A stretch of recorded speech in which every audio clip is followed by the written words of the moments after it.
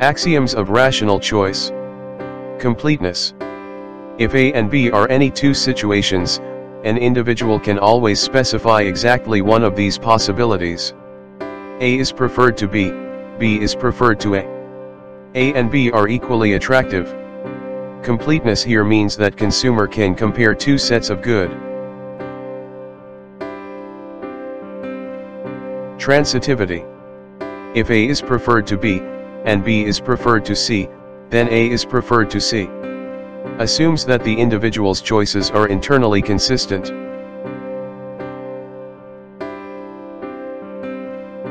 Continuity. If A is preferred to B, then situations suitably close to A must also be preferred to B.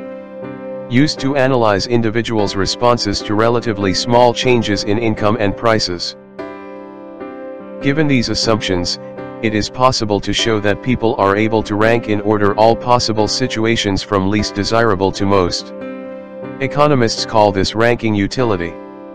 If A is preferred to B, then the utility assigned to A exceeds the utility assigned to B.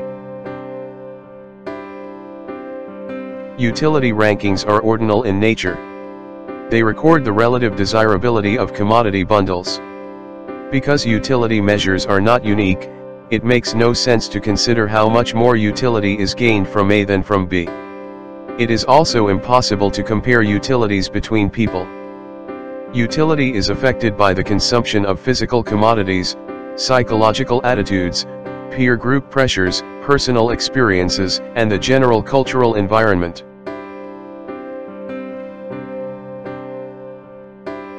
Hope your doubts are cleared. Do like share and subscribe to our channel for more updates, feel free to ask your questions in comments.